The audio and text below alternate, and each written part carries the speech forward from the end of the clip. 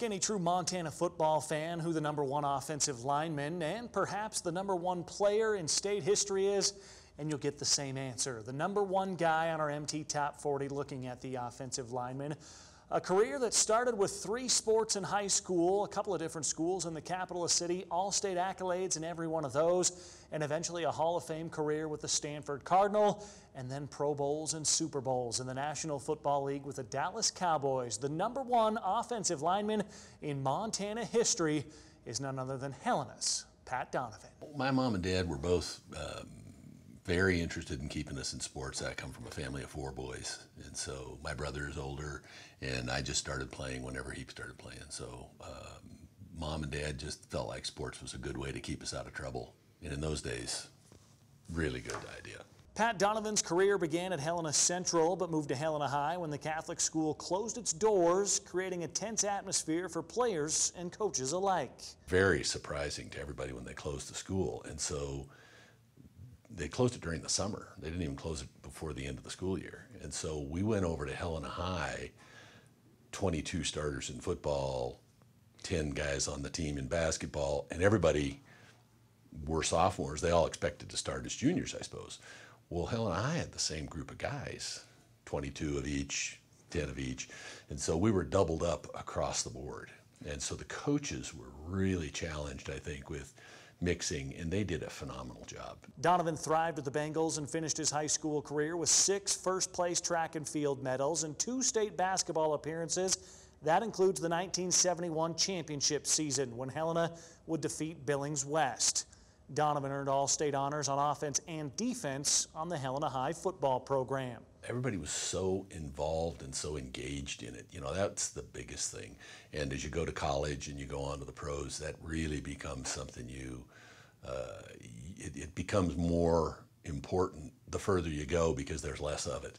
Um, in high school, it's your whole town and it's everybody at school. And it was just a huge community deal. Um, I went back and uh, talked to the uh, 19, it was the 91 team, because we won in 71 and they won the basketball championship in 91. And I went back and I remember telling them, you know, you guys may play in a lot of big deals, you may play in high college and you may, I've played in the Super Bowl, and let me tell you, this is a bigger deal.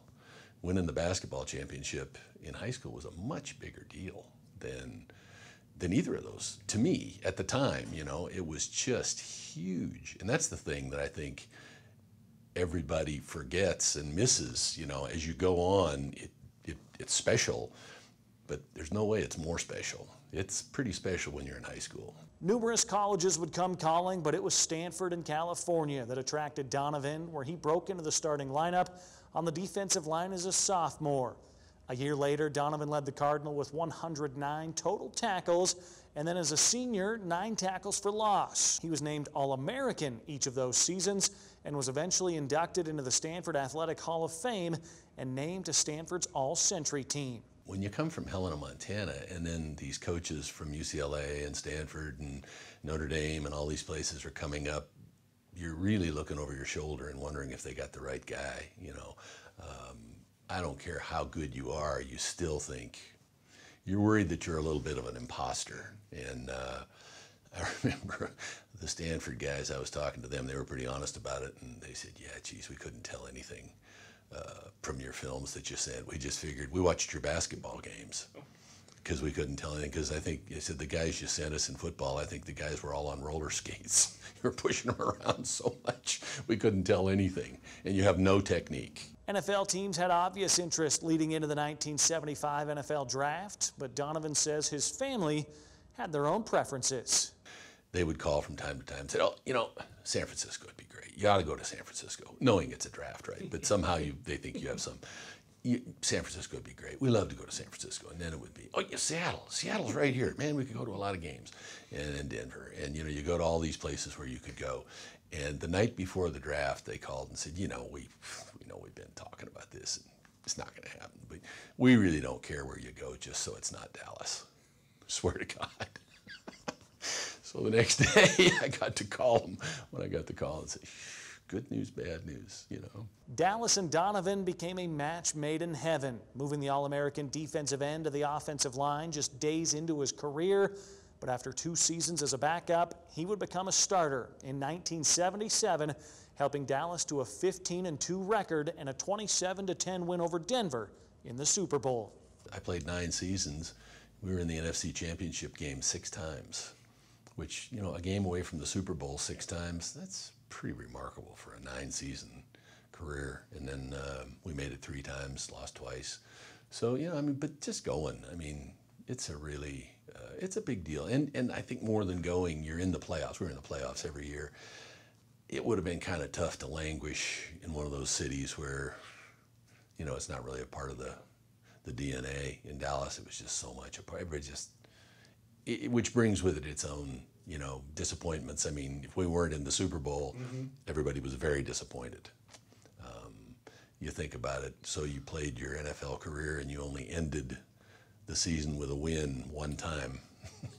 because if you're in the playoffs, you lose out. Yeah, yeah. So it's, you know, it's a little frustrating. Donovan moved to the left tackle position the following season and played with some of the greatest Cowboys in team history, including running back Tony Dorsett, who would average at least 4.2 yards per carry in every one of Donovan's seasons on the line.